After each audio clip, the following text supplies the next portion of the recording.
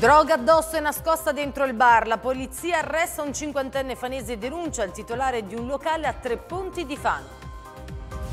Didattica a distanza, lettera aperta di una mamma esasperata che scrive al sindaco, ad Acquaroli e ai presidi delle scuole. Ridate ai nostri figli la vita che meritano, avete il compito di scegliere quale futuro dare a tutti noi. Ecco come sarà Piazza Andrea Costa Fano, viale auto, luce a led, nuove panchine asfaltatura. La rabbia di Confcommercio, decisioni prese senza alcun confronto, discordanti invece i pareri dei commercianti. Di creare ambienti e situazioni diciamo eh, di un bell'ambiente secondo me può solo portare giovamento nel tempo ecco. Rivoluzione parcheggi sul lungomare di Fano, contraria alle soste a pagamento, gli esercenti e gli operatori economici di Sassonia. Senza poi chiedere un parere. Noi avevamo chiesto un colloquio con la signora Tonelli, ma ancora non si è vista. Pesaro si candida a Capitale Italiana della Cultura 2024, chiamate a raccolta le realtà del settore che vorranno diventarne protagoniste. Buonasera e bentornati su Fano TV in primo piano. Il blitz della polizia di Fano nel circolo che si affaccia sul lago Solazzi. Il controllo ha portato a un arresto ma anche alla segnalazione del gestore per aver agevolato l'utilizzo del locale come luogo di spaccio di droga. Un via e vai di persone e movimenti sospetti che non è passato inosservato ai poliziotti di Fano che mercoledì hanno provveduto a controllare il circolo che si affaccia sul lago Solazzi in zona Tre Ponti.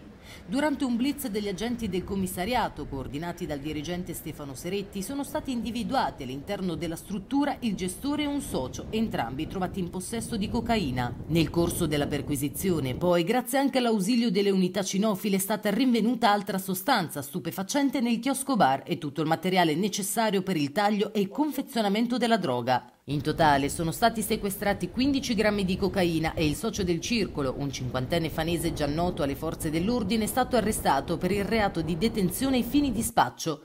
L'arresto è stato convalidato nel pomeriggio di ieri dal Tribunale di Pesaro. Il gestore invece è stato denunciato all'autorità giudiziaria per aver agevolato l'utilizzo del locale come luogo di spaccio. L'uomo, anche lui di Fano, è stato segnalato alla prefettura come assuntore di sostanza stupefacente. Sono in corso ulteriori approfondimenti per verificare l'eventuale provvedimento di sospensione dell'attività.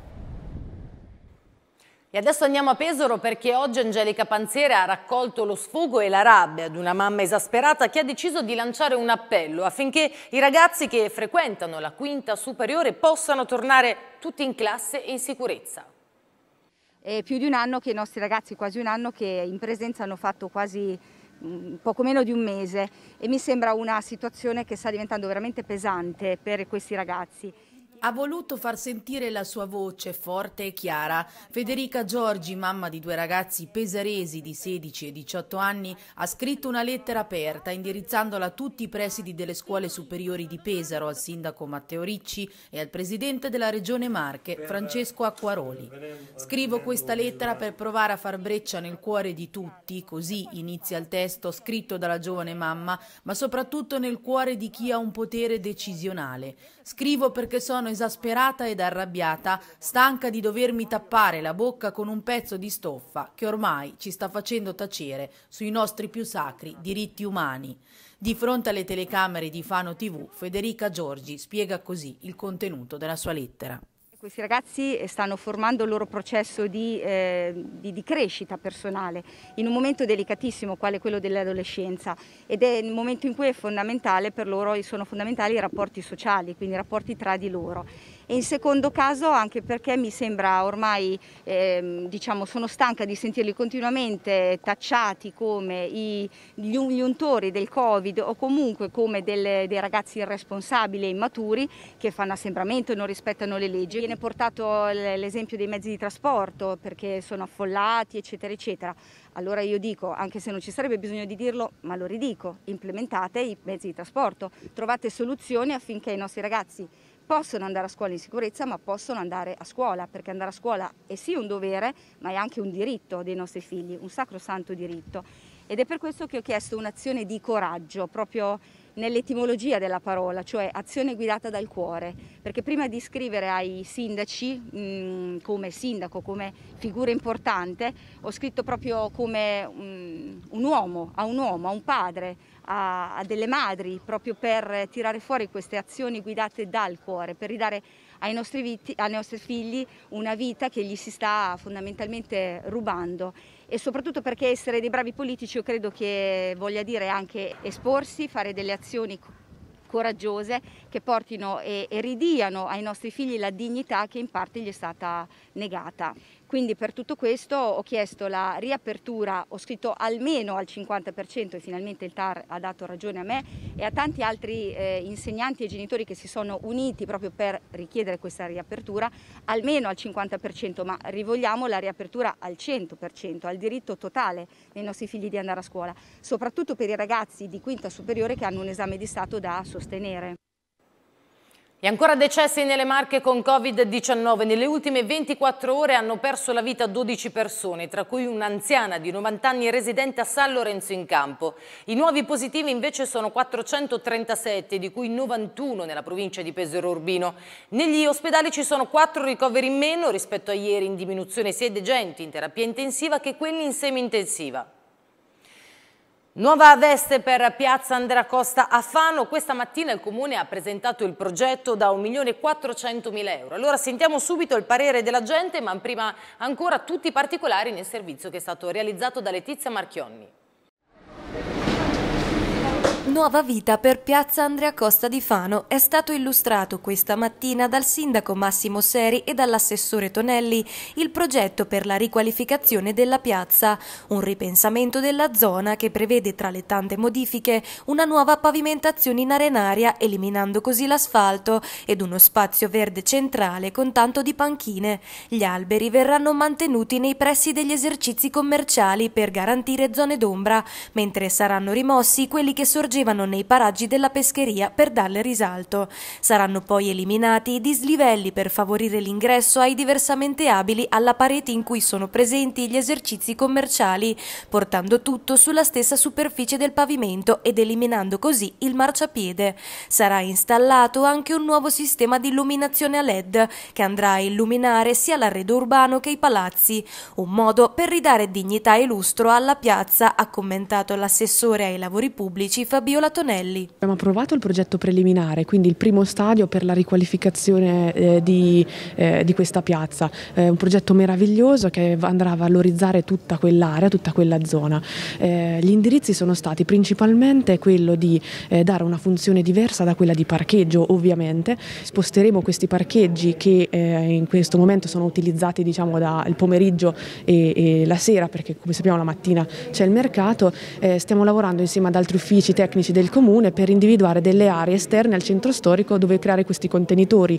Eh, per esempio stiamo facendo via Risorgimento che riqualificandolo eh, soprattutto per la sera potrebbe essere una buona alternativa per il centro storico. Troveremo anche delle aree ancora più esterne eh, al centro storico per mettere anche in atto questo ehm, cambio di cultura che vogliamo fare ehm, eh, eh, sulla mobilità sostenibile, quindi eh, parcheggiare nei parcheggi scambiatori e arrivare al centro storico con altri mezzi alternativi all'automobile automobile. Eh, è un processo lungo, eh, infatti i tempi di realizzazione di Piazza Andrea Costa non saranno di sicuro nel 2021. Quali saranno i costi? Il quadro economico eh, dei lavori di, questa riqualificazione è 1.100.000 euro, eh, poi eh, mm, comprendendo l'IVA e anche altre incarichi insomma, che servono per realizzare arriviamo a 1.400.000 euro. La nuova piazza che si viene a delineare nasce e ha le sue premesse dagli edifici che la circondano, due edifici principali che è la, la pescheria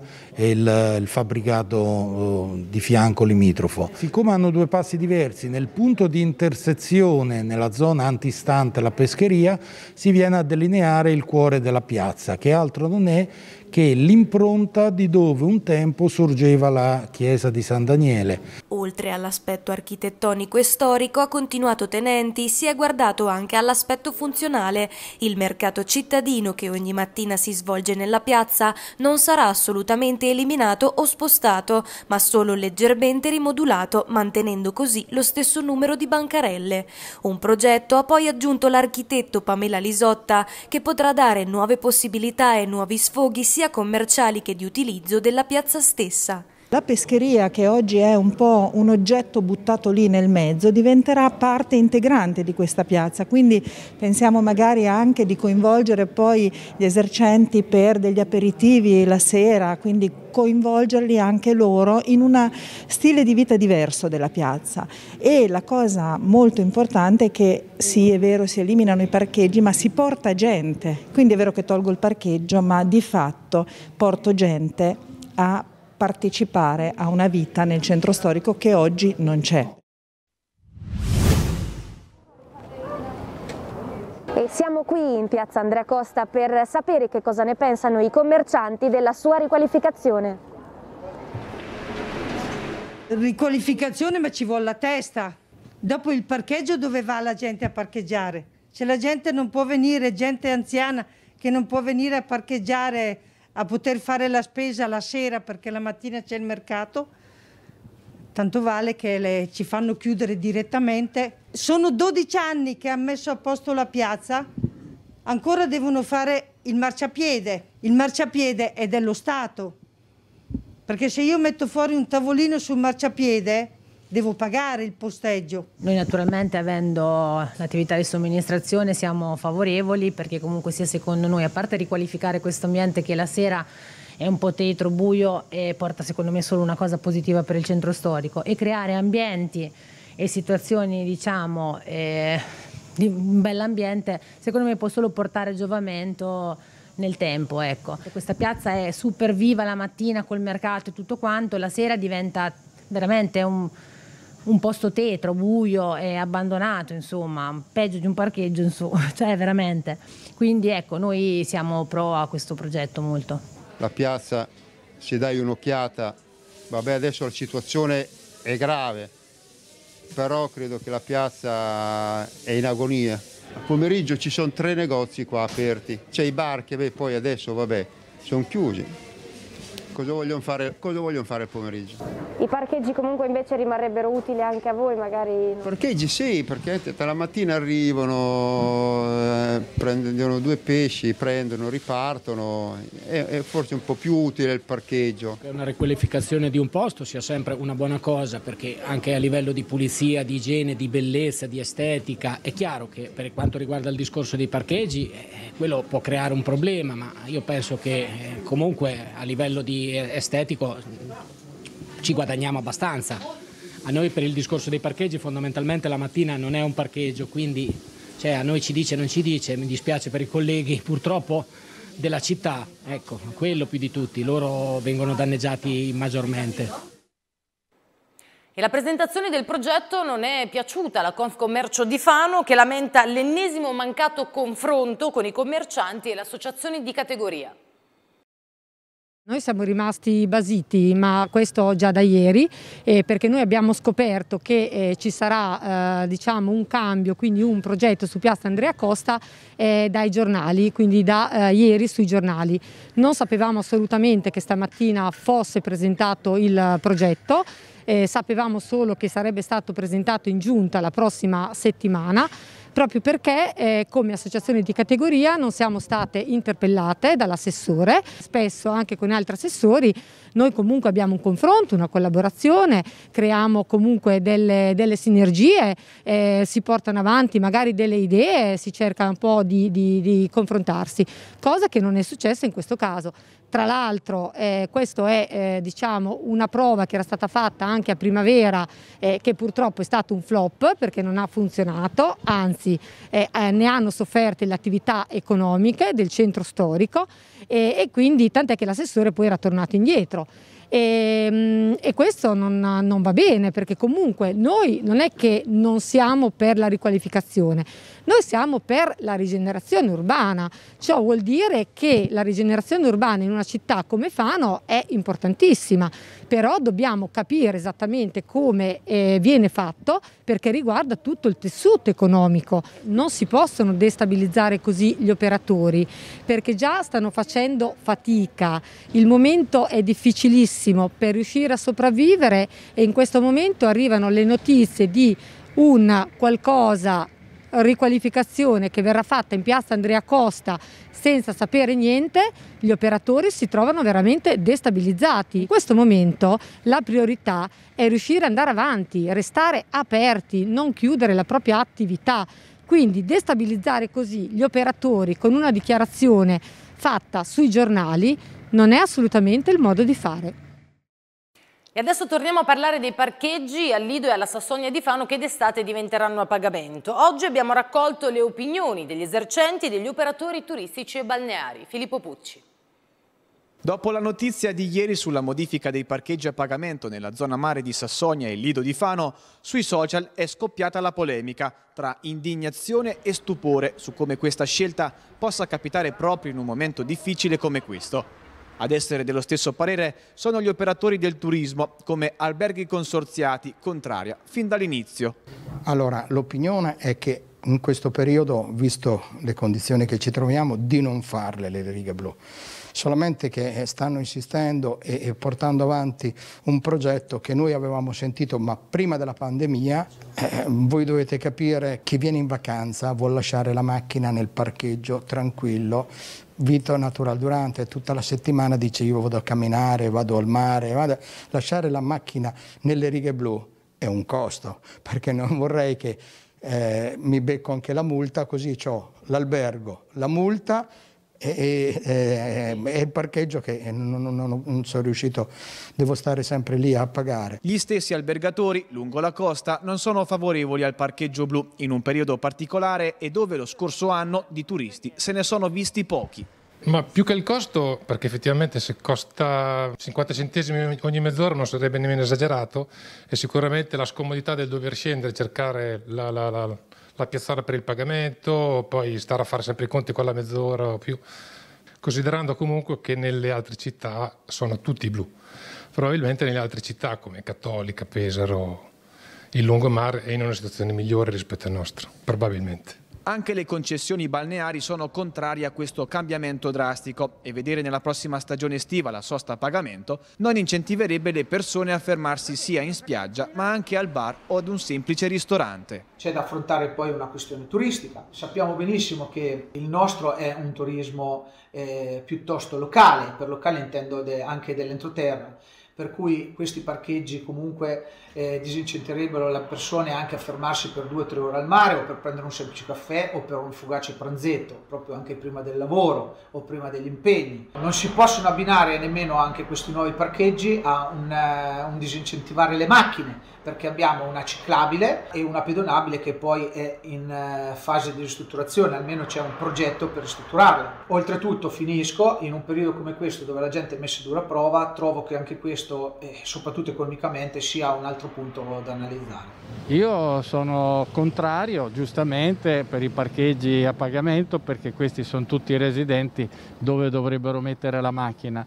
Chiaramente per una riqualificazione di tutta la via Dante Alighieri, questo eh, era ora forse che si faceva anche per incominciare a riqualificare tutta la Sassonia, ma probabilmente forse eh, non è eh, la cosa più urgente. Ma appunto per chi lavora o abita su Viale Dante Alighieri, come ci fanno notare alcuni commercianti e residenti del posto, si ritroverebbero parcheggiate tutte le auto di Viale Adriatico con non pochi problemi e meno vantaggi per i clienti. Secondo noi se, se diciamo che gli abitanti della zona non avranno più il posteggio garantito, non sapranno più dove mettere la macchina. Purtroppo non tutti abbiamo il garage se i posteggiatori di Viale Adriatico verranno a posteggiare in Viale Dante Alighieri, ecco quindi che ci sarà un intasamento. E per il lavoro, noi abbiamo il bar, il supermercato, è una zona ancora che è 60 anni che lavora in questa zona e non mi sembra giusto che sia, eh, diciamo,